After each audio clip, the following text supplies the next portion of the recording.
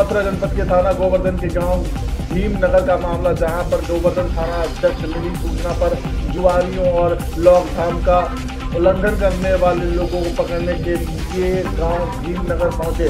उनके पहुँचते ही पूरे गाँव में भगदड़ मच गई और पुलिस पार्टी पर गाँव के लोगों ने मिलकर लाठी, डंडों और पत्थरों के साथ में पथराव कर दिया। परिक्रमा मार्ग में पड़ता है। सूचना मिली थी कि यहाँ कुछ लोग दुकान खोले हुए हैं। उसी के लॉकडाउन का के चलते पुलिस फोर्स पहुँची थी वहाँ पर। उसी का उन लोगों ने विरोध किया और हमलावर हो गए।